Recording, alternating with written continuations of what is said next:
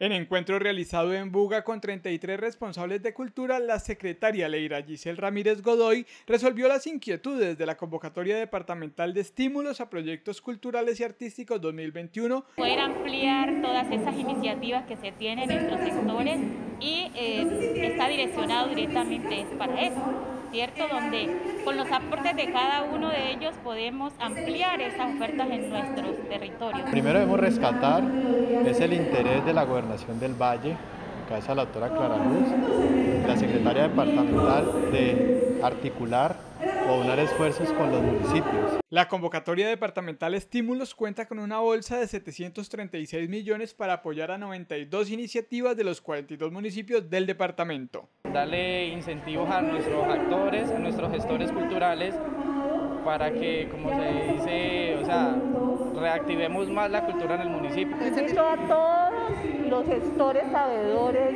artistas, para que presenten sus proyectos. en la convocatoria de estímulos de la gobernación está buenísima. Estímulos Cultura Valle Invencible 2021 entregará 8 millones de pesos a cada proyecto ganador, con lo que la gobernación del Valle impulsa la reactivación económica del sector.